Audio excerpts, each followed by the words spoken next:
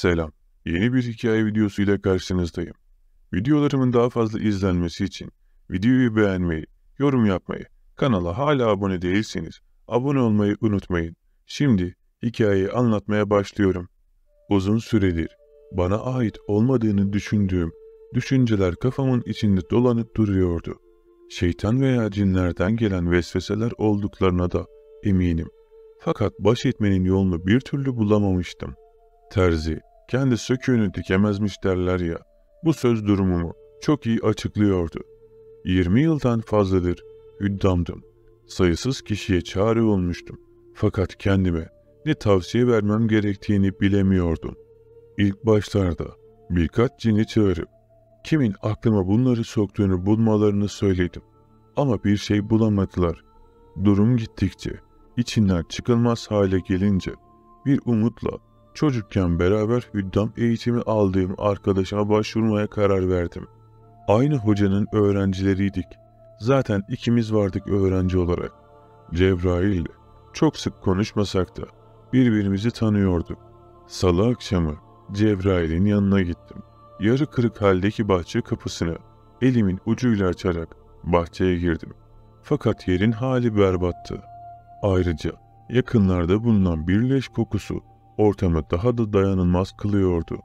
Aceleyle dört gündür aralıksız yağmakta olan yağmurun gölet haline getirdiği bahçede ayakkabımın içine su dolarak ev kapısına doğru ilerledim. Tek katlı ev kerpiçten yapılmıştı. Kapıya iki kez vurmuştum ki o tanıdık yüz beni her zaman tedirgin eden boş bakışlı ve ifadesiz yüzüyle kapıyı açtı. Ona haber vermemiştim. Fakat sanki beni bekliyormuş gibi. Nerede kaldın? Hava iyice karardı dedi ve içeri geçmemi söyledi. Evin içi bahçeden bile berbattı. Başım eğerek yürüyordum. Pencereleri duvardan su sızan bir odaya girdik. İçeride bir masa, üç tane de sandalye vardı. Tabandan damlayan sularla ıslanan sandalyeyi kolumla olabildiğince kurladıktan sonra oturdum ve hemen konuya girdim. Bir süredir zihnimin bulanık olduğunu anlattım ve ne yapmam gerektiğini sordum. Başını bir süre salladıktan sonra sağ elini yavaşça masaya vurup eğer son zamanlarda yorgun düştüysen cinlerinden birini veya birkaçının kontrolünü kaybediyor olabilirsin. Onlarla zihinsel bağlantın olduğundan dolayı şimdi de onlar seni kontrol etmeye çalışıyor olabilir dedi. Buna benzer şeyleri daha önce duymuştum ama başıma geleceğine ihtimal vermiyordum. Bunu nasıl anlayabileceğimi sorduğumdaysa, eğer sana musallat olan cin varsa, kendi cinlerinle onu rahatça bulabilirsin. Fakat eğer kendi cinlerin bunu yapıyorsa, sana hiçbir şey bulamadıklarını söylüyorsa, gerçekten bulamazlar. Bunu denedi. Söylediğini zaten yapmıştım ve cinlerim bir şey bulamadıklarını söylemişlerdi. İçime düşen korku, ellerimin titremesine neden oldu. Cebrail ise karşımda ifadesiz yüzüyle bekliyordu. Ona zaten bunu yaptığımı ve aldığım yanıtı söyledim. İfadesi bu sefer ciddileşti ve bunun çaresi dinler alemine geçmekti. Orada tanıdığım bir cin var. Senin zihnini bulandıranın kim olduğunu kolaylıkla bulabilir dedi. Kendi alemlerinde ne kadar güçlü olduklarını biliyordum ve içlerinde bana ihanet eden en az bir tanesi varken kendi dünyamı terk etmek bana hiç güvenli gelmiyordu. Cebrail, biz diğer aleme giderken sen de cinlerini hapsedersin. Böylece sana zarar vermek isteyen cin veya cinler bir şey yapamaz dedi ve devam etti. Diğer aleme geçtiğin zaman benim cinlerim seni korur. Cebrail'in sözleri bittiğinde birkaç gün düşünmek için zaman istedim ve teşekkür edip ayrıldım. Eve giderken kafamda onlarca düşünce vardı. Cinler aleminde savunmasızken, başıma gelebilecekleri düşünürken, arkamda ayak sesi duydum. Karanlığın ortasında bir anda ortaya bu ses çıktı. Zaman kaybetmeden arkama dönüp baktığımda oldukça yaşlı, beli iki büklüm olan bir kadını gördüm. Çamurlu ve kaygan yolda bastonuyla yürümeye çalışıyordu. Ağır adımlarla benim olduğum tarafa geliyordu. Sokağın karşı tarafına geçip izlemeye karar verdim ki Kadın benim olduğum tarafa yöneldi. İçime kötü bir his doğdu ve elimi belimdeki tılsımlı bıçağa götürdüm. Bana yaklaştığında kimsin diye bağırdım. Kadın durdu ve kafasını ilk kez kaldırdı. Sokak lambası arkasında kaldığı için yüzü tam seçilemiyordu. Fakat kırışıklıklar belli oluyordu. Belini de doğrultan kadın. Başındaki sıkıntı cinlerinden biriyle alakalı ve onu ayartan, senin tanımadığın eski bir düşman, aynı düşman, arkadaşını da kendi tarafına çekmeyi başardı. Eğer onun aklına uyarsan, ikiniz de öleceksiniz dedi. Ben kim olduğunu ikinci kez ısrarla sorunca, siz Ahmet Efendi'nin yanında öğrencilik yaparken size yemek getirirdim. Hatırladın mı dedi. Böyle bir kadın gerçekten de vardı. Fakat şimdi çıkıp gelmesi ve bunca yaşına rağmen beni bulmuş olması şüphelenmeme neden oldu. Ceketimin iç cebinden plastik şişeyi çıkardım ve içindeki karışımdan yarım avuç kadar aldım. Sonra kadına yaklaşıp üstüne attım. Bunu kadının insan görünümündeki cin veya zihin kontrol eden insan olup olmadığını anlamak için yapmıştım. Kadın ikisi de değildi. Kadınla daha fazla konuşmak istiyordum. Fakat hem hava soğuyordu hem de vakit ilerliyordu. Konuşmaya yarın devam edelim dedim. Kadın bunu kabul etti ve ben öğlen gibi yanına gelirim. Sen bu vakitten önce Ahmet Efendi'nin mezarına git dedi ve başka bir şey söylemeden geldiği karanlığa yönelip ortadan kayboldu. Eve gittiğimde kafam o kadar şişmişti ki herhangi bir şey düşünemeden hemen uyudum. Sabah olduğunda pencereme çarpan yağmur damlalarıyla uyandım. Saat dokuzu biraz geçmişti. Kahvaltı yaparken aklıma dün gece kadının dediği geldi. Bana bu ilmi öğreten Ahmet Efendi'nin mezarına gidecek. Kahvaltıyı yarıda bırakıp bataklığa dönen sokaklardan geçerek mahallenin dışındaki köye doğru yola çıktım. Hocam öldüğünde evinin içine gömülmek istemişti. Yağmurun şiddeti artarken yokuş yukarı çıkmak zordu ve yarım saatlik yolu neredeyse bir saatte aldıktan sonra eve ulaştım. Bahçe duvarı ve kapısı hala sağlamdı. Ev kapısını nasıl açacağımı düşünürken anahtarın zaten kapıda olduğunu fark ettim. Belimdeki bıçağı yokladıktan sonra eve girdim. İçerisi oldukça soğuktu. Evde hala bazı eşyalar vardı. Fakat hepsi buz tutmuş gibiydi. Eve girmemle beraber anılara da girmiştim. 20 yıllık anlarım vardı burada. Sohbet odası dediğimiz odanın önüne gelince hocamı buraya gömdüğümüz aklıma geldi. Yeşil ve sarı buzlu camları sahip olan odanın içi çok loştu.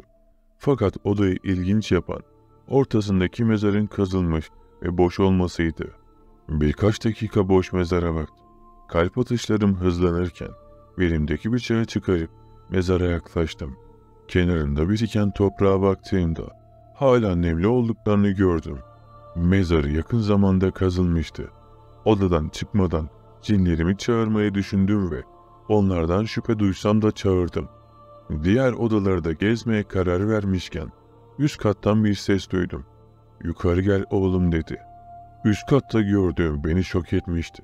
Mezarında olması gereken hocam karşımda divanda oturuyordu. Hem de bunca yıldan sonra geriye sadece kemikleri kalmış olmalıyken rengi morarmasına rağmen etleri hala tam anlamıyla çürümemişti. Besmele çekip bıçağımı daha sık kavradım. Hocamın yanında oturan, daha önce hiç görmediğim, kırklı yaşlarında bir erkek elini hocamın bacağına koymuştu. Ben onun kim olduğunu düşünürken o gülümsemeye başladı. Adamın yüzündeki gülümseme hiç de dostane değildi. Onlara doğru birkaç adım yaklaşınca aramızda duran masanın üstüne gözüm takıldı. Çünkü tabağın içinde et parçaları vardı. Gözlerimi tekrar adama diktiğimde arkasına yaslanıp konuşmaya başladı. Hocan olan bu adama hayatta olduğu her an nefret besledim. Çünkü en değerlimi oğlumu benden alıp kendi cinlerinden biri yapmıştı. Ne kadar uğraştıysam bazen konuşup bazen saldırsam da bir sonuç çıkmadı. Ben de intikam yemini ettim ve bunu hocana söyledim. Ben de onun en değer verdiklerini elinden alacaktım. En değer verdiği kişiler Sen ve Cebrail'di. Bu sözlerimden sonra sizi üddem olarak yetiştirmeye karar verdi. Ama boşuna. Adam son cümlesinin ardından cesedin yanağına eğildi ve körpe görünen dişleriyle ısırdı. Büyükçe bir parça kopardığı belli oluyordu. Eti çiğnerken bana döndü ve öfke dolu gözleriyle eti tükürüp şimdi ne kendini koruyabiliyor ne de sizi diye bağırdı. Bu sırada cinlerim çılgına dönmüşlerdi. Rüzgarın hızı arttı ve yağmur damlaları camı delecek gibi çarpıyordu. Ayağa kalkan adam ağzını açtı ve titremeye başladı.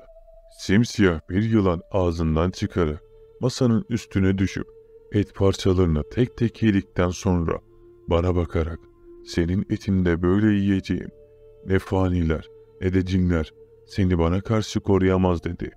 Tıslayarak dik bir pozisyona geçip üstüme atladı. Ben de aynı şekilde geriye atladım. Fakat dengemi kaybedip düştüm. Yılanın dişlerini ayağımda hissetmem çok çabuk oldu. İnanılmaz bir acı tüm bacağımda yayılırken yılan diz kapağımdan da ısırdı ve karnımın üstünden süzülmeye başladı. Siyah derisi ve gözleriyle çok korkunçtu. Kalbimin üstünde tekrar doğruldu ve zefiri karanlık ağzını açmıştı ki o an elimde olan bıçağı hayvana doğru salladım. Kopan kafa yere düşmüştü ama cinler hala sakinleşmemişti. Ortalık daha da karışmadan son gücümle cinlere beni eve götürmelerini söyledim. Ve bayıldım. Uyandığımda başucumda donuk gözleriyle bana bakan kadını gördüm. Ben oturur pozisyona gelene kadar beni izledi. Başucuma koyduğu sandalyeye tüm gücüyle yaslandıktan sonra neler olduğunu anlatmamı istedi. Sözlerim bitene kadar sabırla bekledikten sonra ondan hiç beklemediğim bir atiklikle evin içinde dolaşmaya başladı. Ne olduğunu sorduysam da bir süre cevap alamadım. Kadın sandalyeye tekrar oturdu ve onun kim olduğunu anlattı. O anlatımını sürdürürken bacağımda hissettiğim acıyla dikkatim bacağıma kaydı. Bunu gören kadın, merak etme, ben ona iyi gelecek bir şeyler koydum. Bir güne kalmadan zehri atar dedi. Bu sözlerle içime su serpilmişti. Çünkü ben ne yapılması gerektiğini bilmiyordum. Kadın Cebrail'e güvenmemem konusunda beni uyardı. Söylediğine göre cinlerimi hapsetmemek istemesinin nedeni beni savunmasız bırakmakmış. O gece Cebrail'in yanına gittiğimde her şeyi önceden biliyor olması beni zaten şüphelendirmişti. Şimdi ise taşlar yerine oturuyordu. Hatta cinlerimden birinin ihanet etmesini sağlayan bile o olabilirdi. Cebrail'in cinler aleminde tanıdığı kişinin kim olduğunu tahmin edebiliyordum. Erdaba isimli cin, uzun zamandır hüddamlarla arkadaşlık yapan imanlı bir cindi. Yaşlı kadına geçici olarak beni koruyabilecek cinler tanıyıp tanımadığını sordum. Biraz düşündükten sonra iki üç tane tanıdığını söyledi. O, odalardan birine geçip çağırmaya başladığında ben de cinlerimi hapsetmeye başlamıştım. Oturma odasında bulabildiğim tüm cam şişeleri ve birkaç testiyi koydum. Şişelerin etrafını siyah bezlerle sardıktan sonra 19 cini sırayla hapsediyordum. Şişeye giren hayli huzursuz oluyordu. Ama çoğunun huzursuzluğu üzüntüden kaynaklıydı. Geriye bir tane cin kalmıştı ve benim en güvendiğimdi. Bu yüzden onu hapsetmekten vazgeçtim. Kadın hala odadayken şişeleri kanepelerden birinin altına açtığım gizli bölmeye koydum. Böylece şişelere zarar gelmeyecekti. Sabırla kadının çıkmasını beklemeye başladım ve yarım saat sonra kadın mutlu şekilde geldi. Onunla beraber iki cini de hissedebiliyordum. Önceden de yaptığım gibi duvara kapıya benzer bir şekil çizdim ve üstüne adımı yazdım. Bu sırada güvendiğim cin cinler alemine gitti. Şekle sırtımı yaslayıp derin nefes almaya, Nas suresini okumaya başladım. Üç kez okuduktan sonra duvarın içine düşüyor gibi oldum ve gözlerimi açtığımda cinler alemine gelmiştim. Her ne kadar cin topluluklarına uzak bir kesimde olsak da gizli ve hızlı olmamız gerekiyordu. Bir tepeyi açtıktan sonra gözüme beyaz bir cami takıldı. Erdaba camide ve çevresinde olmalıydı. Camiye gidip oradaki cinlere Erdaba'yı sorduğumda namaz bitince geleceğini söylediler. Az sonra boyu 3 metreye yakın heybetli bir cin camiden çıktı. Ona seslendiğimde yanındakileri bırakıp beni takip et dedi. Söylediğini yaptım. Bir insan için oldukça büyük olan kayaya oyulan eve girdiğimizde arkadaşınla gelmeni bekliyordum. Öylesi daha güvenli olurdu senin için dedi. Hangi arkadaşımı kastettiğini sorduğumda Cebrail'in adını söyledi. Söylediğine göre ben Cebrail ile konuştuktan sonra o buraya gelmiş ve Erdaba ile konuşmuştu. Bana sorgular gözlerle dönen cin. Yanındakiler kim? Nereden buldun onları dedi ve devam etti.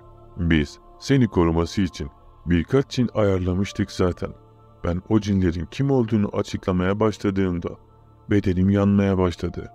Göğsüm daralıyordu ve nefes alamaz hale gelmiştim. Yere yığıldığımda Erdava beni kucaklayıp beraber geldiğim cinlere götürdü ve kendi alemine götürmeniz gerek. Orada bir şeyler oluyor dedi. Buğulu gözlerle etrafı seyrederken kendi cinimin geçidi nerede olduğunu tarif ettiğini ama bu sırada kadının verdiği iki cinin ona ve diğerlerine saldırdığını gördüm. Ayrıca gelen başkaları da vardı. Bu sırada gözlerimde de dayanılmaz bir acı oluşmaya başlamıştı ki kısa süreli baygınlık geçirdim. Kendime geldiğimde caminin olduğu tarafta onlarca cinin savaştığını gördüm. Fakat ben güvendiğim cinle beraber geçidin yanındaydım. Cin, insanlar alemine benden önce gitti ve aynı ritüeli yaptık. Kendi dünyama döndüğümde yılanın ısırdığı bacağımın şiştiğini gördüm. Isırılan yerin üstünde beyaz bezler vardı. Bedenimi dik pozisyona getirdiğimde sağ yanımda yatan birini gördüm. Bu Cebrail'di. Onu dürttüğümde kafasını zar zor kaldırdı ve ona yaklaşmamı işaret etti. Kafamı eğdiğimde kulağıma dört kelime söyledi. Bunları duymak beni şok etti. Çünkü tüm cinleri bana vermişti. Ardından hocamızın mezarına gidip oradaki cini öldürmemi söyledi. Bunları söyledikten sonra birkaç dakika daha yaşadıktan sonra vefat etti. Cinlerin kavgası o kadar güçlüydü ki ev sallanıyordu. Camlar çoktan yerle bir olmuştu. Ölen cinlerden geriye hanlık parlayan ateşler kalıyordu. Bu kargaşada kendi cinlerime ulaşmaya çalışıyordum. Fakat cinleri hapsettiğim şişelere baktığımda hepsinin kırılmış veya açılmış olduğunu gördüm. Buna karşın savaşan cinlerden sadece birkaçı benimdi. Yarıma alabildiğim kadar cin alıp mezarın olduğu yere gittim. Evin kapısı ve pencereleri kırılmıştı. Alt kattaki odaları boştu. Yukarı kata çıktığımdaysa geçen seferki manzaranın aynısıyla karşılaştım. Tek fark hocamın cesedinin neredeyse yarısı yenmişti. Ağzından yılan çıkan adam bu sefer hiç konuşmadan beni gördüğü an çeşitli kasılmalarla boyu benim iki katım olan bir yaratığa dönüştü. Bunun gerçek şekli olduğunu biliyordum. Kızıl boynuzları, kısa beyaz sakallıyla ateş püskürdükten sonra üstüme atladı. Cinlerin beni cam kenarına götürerek bu saldırıdan kaçırdılar. Öfkelenen cin merdiven korkuluğunu söküp fırlattı. Bu sefer çok şanslı değildim ve göğsüme çarpan korkuluk bahçeye düşmeme neden oldu. Hemen arkamdan bahçeye inen cin evin duvarından söktüğü bir parçayla bana yaklaştı ve kafamı yakaladı. Cinlerimin gücü onunkine yetişemiyordu. Cin yüzüme tükürdükten sonra elindeki parçayla bana vuracaktı ki ensesinden saplanan mızrak ağzından çıktı. Ne olduğunu ikimiz de anlamadık. Cin hala ölmemişti ama tüm gücünü kaybetmişti. Kafamı ondan kurtarınca bıçağımı karnına birkaç kez sapladım. Cin öldürmek için yapılan bıçak etkisini kısa sürede gösterdi. Mızrağı saplayan Erdaba tüm bunları benim suçummuş gibi yüzünü buruşturup bana baktı. O gün hocamın cenazesini yıkayıp gömdükten sonra Cebrail'i de aynı evin bahçesine defnettik. Yaşlı kadını ise bulamadık. Bana ihanet eden cin veya cinlerin kim olduğunu hiçbir zaman bulamadım. Ama bir hüddamın hizmetçisi olan cinlerin bile başkası tarafından etki altına alınabildiğini öğrenip sonraki hayatımda cinlerimi sürekli yenileme yoluna gittim. Bu olaydan sonra Erdaba'yla dost olsak da uzun zamandır dibimde olan ve kıymetini bilmediğim dostumun ölümünü hala unutamıyorum. Hikaye burada sona eriyor. Sizlerin de buna benzer hikayeleriniz varsa açıklama kısmında bulunan sosyal medya hesaplarım üzerinden bana ulaştırabilirsiniz. Bir sonraki videoda görüşmek üzere.